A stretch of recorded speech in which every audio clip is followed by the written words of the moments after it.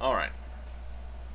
Today we're going to learn how to set up a very quick uh, AI scenario. So here's test land. Still very flat. There's an original track and layout and station. We're just going to ignore all that. So, first thing we need to do is go into scenario commands, which is this little icon here.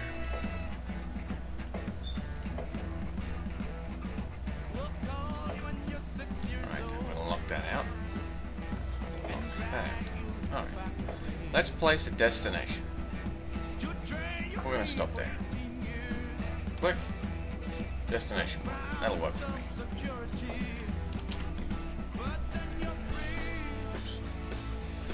Next, I'm going to set up a platform here.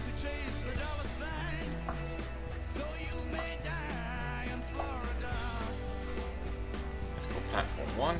That'll work.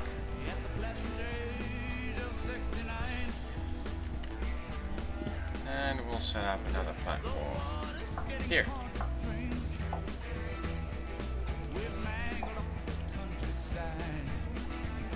Platform two. That'll work for me. Now let's place a loco.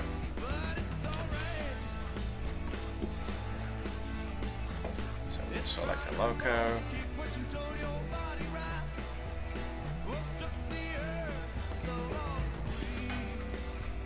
Go with the trusty Network Southeast.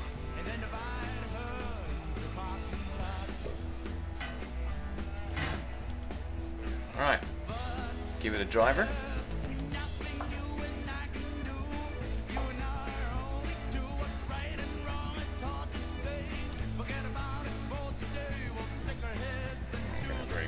Set its destination. So he's aiming for there. Destination one. But I need him to stop at those two platforms and pick, pick up some passengers on the way.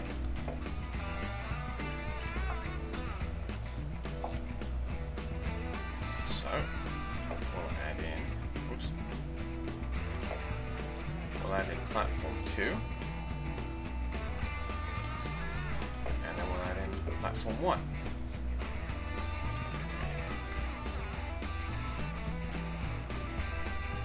And that is your AI train. Now he's AI, because we haven't checked the human service box. If you check this box here, it turns into a drivable train by the user or the player. So let's see how this runs. And away she goes.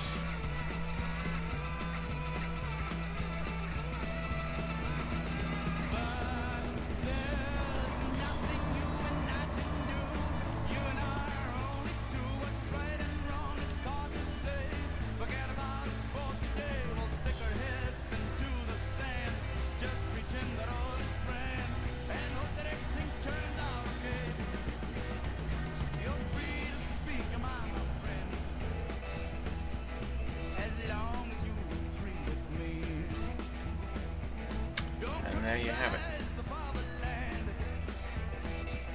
She's going to stop at platform 2. And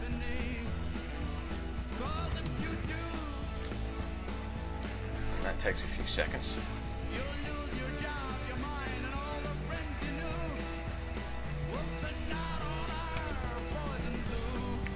There she goes off towards platform 1.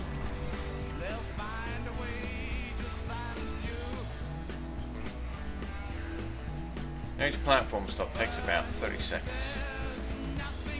As you can tell, I edited this a little bit for time.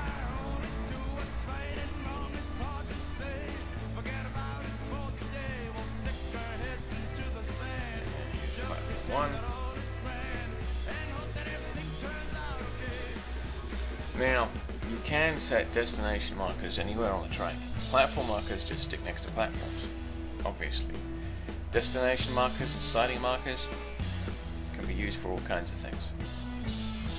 Destination markers you can use with the um, stop at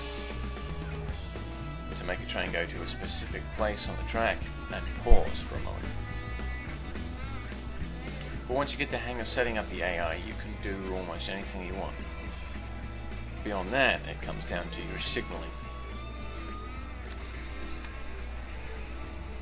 And there she goes off towards the final destination.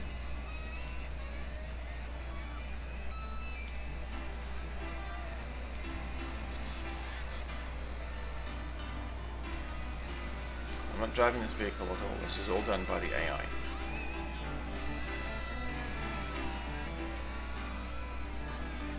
And as I said, once you get the idea of setting up the AI, it comes down to a matter of routing and signaling.